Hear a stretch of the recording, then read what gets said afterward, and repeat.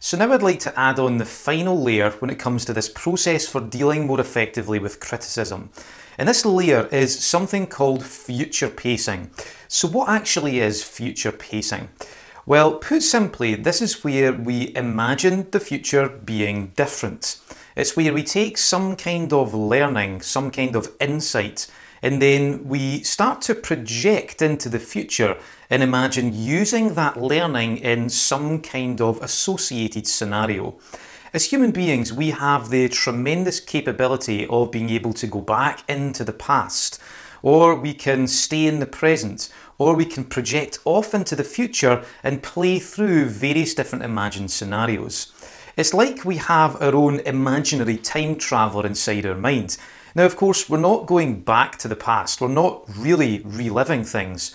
We're just re-experiencing them through our memory system. And when we project into the future, we're not 100% accurately depicting what is going to happen in the future, but we're just creating scenarios just to help us bridge the gap from where we currently are to where we ideally want to be. Now, one of the things that I like to say is that often when we imagine something inside our mind's eye, then all of a sudden it becomes a choice to us. Often the thing that stops us from developing, from moving forward, from overcoming challenges, and ultimately becoming a more behaviourally flexible person is that we struggle to imagine ourselves being different.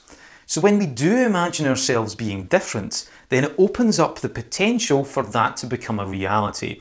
And that's the principle that future pacing is based upon.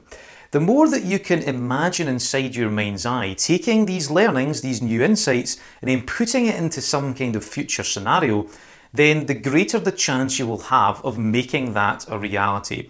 So think of this almost like as a bridge that you're creating from the changes and insights that you're making from the process to actually implementing them into your everyday life. So how does this actually work? Well, what you're looking to do is, first of all, you take yourself through the process. So as I described in the last few videos, you go back to a time when you were criticised, you see it through self, then you step into thirds, then you step into seconds, and then you go back into first, bringing all these new insights with you. By the time you've done that, you will have experienced an enriched version of this particular experience, this past scenario you will have a deeper appreciation of the full story, so you'll be more resourceful. Now there's a very good chance too that you've also gained insights into how you would like to behave differently as a result of these insights. And I think that's a key thing here. Once you've gone through the process, it's useful to write down just a quick description of how you would like to behave differently in the future, based on the insights you've experienced from the full process. Behavioural change is really, really important. There's no point in going through one of these psychological imaginary processes if you don't then actually take the learnings and then put them into physical practice. So it's a really good idea just to sit back and write down just a quick description of how you would like to behave differently in a future scenario that could be similar, because we want to learn from our experiences. And at this stage as well, it's very useful to take the learning or potentially the positive intention that the person has for criticising you. And you can then use that to develop, use that to perhaps go in a different direction or slightly tweak or change your approach. So what you want to do is once you go through the technique, once you've gained some new insights, some learnings, you've connected with potentially the positive intention of the person who's criticising you, and you've come up with a bit of a description in terms of how you would like to behave differently in the future, you then want to sit back, close your eyes, and then just simply project yourself inside your mind to some point in the future. And I know that sounds a little bit weird. If you've not done stuff like this before, then that concept might be a little bit alien to you. But it's very easy. You just imagine a scenario in the future that's related to this particular criticism. So say for example you did a presentation and your boss said your presentation was shit. It was rubbish and then he gave you a big list of stuff about what you did wrong. Clearly that's very badly presented feedback. But by going through the different perceptual positions, you most likely gain access to what he was really attempting to get across. Maybe he wanted you to be more animated. Maybe he wanted you to be more engaged. Maybe he wanted to, you to use less PowerPoint and tell more stories or ask questions or something like that. Then you can take that learning, take that insight, and then you can imagine yourself in this future scenario, taking it on board and then actually putting it into practice. So you want to take the learnings and then imagine yourself doing them.